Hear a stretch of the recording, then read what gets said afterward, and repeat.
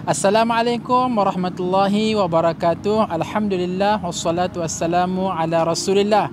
Masya Allah tuan-tuan dan puan-puan Alhamdulillah kita menunggu dan menunggu dan menunggu Akhirnya dengan izin Allah Kita berjaya melangkah ke bulan Ramadan yang penuh dengan keberkatan Bulan yang subhanallah inilah dia bulan yang benar-benar Yang ditunggu oleh orang-orang yang beriman Jadi kami berdua pada saat ini berdiri di tapak pembangunan Ma'had Tahfiz Integrasi Madinatul Hufaz fasa yang kedua dan tuan-tuan dan puan-puan boleh tengok di belakang kami ada bumbung ya yang berwarna hijau itu adalah fasa yang pertama.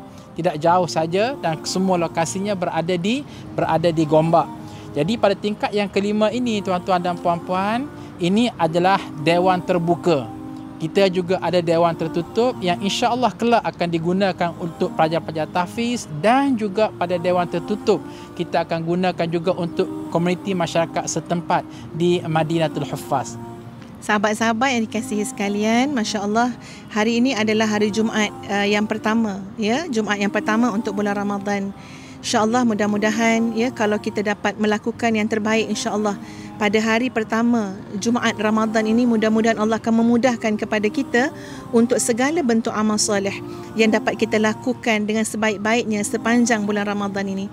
Kalau kita lihat bagaimana contoh yang ditunjukkan oleh Nabi sallallahu alaihi wasallam, Nabi seorang yang dermawan. Namun dalam bulan Ramadan masya-Allah tabarakallahu ahsanul khaliqin, Nabi lebih-lebih lagi dermawan seperti mana angin yang sedang bertiup yang kami rasakan sekarang ni angin-angin sepoi-sepoi ni tuan-puan yang sedang bertiup. Jadi mudah-mudahan kita sama-sama dapat memahami bahawa seperti mana yang disebut oleh para ulama bahawa harta kita kat dunia ni tak tahu macam mana kita nak bawa ke hari akhirat. Ya tak ada kontena yang nak bawa, tak ada cara nak bawa. Tapi masya-Allah kata ulama, orang-orang miskin, sedekah-sedekah kita kepada ya tempat-tempat yang memerlukan, ya wakaf kita, infak kita sebenarnya itulah kenderaan yang membantu membawa harta kita supaya akhirat besok harta kita itu ada nilai dia. Jadi Masya Allah Tuan Puan sekalian mudah-mudahan ia selain daripada amal soleh seperti salat, baca Quran ya, dan sebagainya yang kita lakukan maka jangan ketinggalan untuk kita menjadi umat Nabi sallallahu alaihi wasallam yang memberi dan terus memberi demi kerana mengharapkan keampunan dan juga keredaan Allah Azza wa Jalla. Sebenarnya kami juga di sini warga Madinatul Huffaz akan menggunakan kesempatan sepanjang Ramadan ini untuk merafakkan doa kepada Allah Azza wa Jalla agar Allah terus memberkati hati, memurah rezekikan, ya, melapangkan, meluaskan rezeki tuan-tuan dan puan-puan sekalian yang selama ini memberikan sokongan kepada kami. Demikian yang kita selalu sebut ya bang ya pada anak-anak murid kita di mana Hufaz, ya ingat bahawa semua ini adalah hasil daripada infak wakaf orang ramai yang nak mencari keredaan Allah. Sebab itu kami ingatkan anak-anak murid di sini ya supaya menjaga adab, menjaga hati, Ya bahkan ya tolong ingat jangan lupa setiap waktu solat apatah dalam bulan Ramadan ni untuk merafakkan doa kepada Allah agar Allah memudahkan semua urusan. Ya orang-orang yang telah bersama-sama dengan Madinatul Huffaz ya mem- menyempurnakan ataupun mengkabulkan seluruh hajat.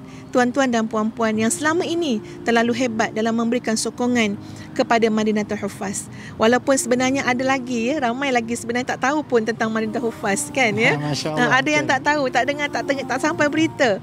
Tapi masya-Allah tuan puan tahu berita ni ya sampai pada telinga tuan puan. Bahkan tuan puan juga telah telah bersama-sama dengan Madinatul Huffaz. Jadi dalam masa yang sama juga ya selain daripada kita memberikan infak pada hari Jumaat ni, Ustazah nak minta sangat pada tuan puan yang sedang mendengar tolong tekan butang share.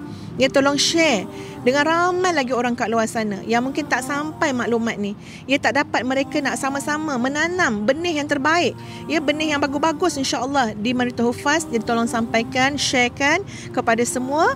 Mudah-mudahan setiap kita ya ada benih yang kita tanam di Madinatul Hufaz dan doakan agar kami dapat menyempurnakan amanah itu dengan sebaik-baiknya. Oleh yang demikian, insya-Allah marilah kita ambil satu komitmen tuan-tuan dan puan-puan. Kami di pihak pengurusan tahfiz integrasi Madinatul Hufaz di Gombak ini merayu daripada tuan-tuan dan puan-puan jadikanlah di sepanjang bulan Ramadan ini untuk berinfak dan bersedekah di Madinatul Hufaz sebagai ladang amal yang akan menempatkan hampir 400 orang pelajar baru insya-Allah di fasa yang kedua ini lengkap dengan asrama. Mudah-mudahan Allah Azza wa Jalla meredai dan merestui hidup kita dunia dan akhirat. Sekian terima kasih. Assalamualaikum warahmatullahi wabarakatuh.